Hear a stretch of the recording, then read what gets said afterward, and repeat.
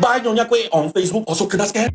This is how it starts. You see a Facebook ad of Nyonya Kueh and you are like so tempted, right? You want to click on it. Not long after you click on the ad, you will get a phone call from this seller. So he will explain to you that you need to download an app to browse through the menu and make payment. He sounds very, very helpful and friendly. This is how he sounds like. 不会麻烦啦，三分钟就下载好了的。我们所有 catalog 跟价钱哦，都在我们 app 里面的。还是你有空吗？有空的话，我就打给你啊，我叫你下载我们的 menu 咯，里面有所有 catalog 跟那个价钱。都是货到付款的。Now, this app that he asked you to download is not from official app store.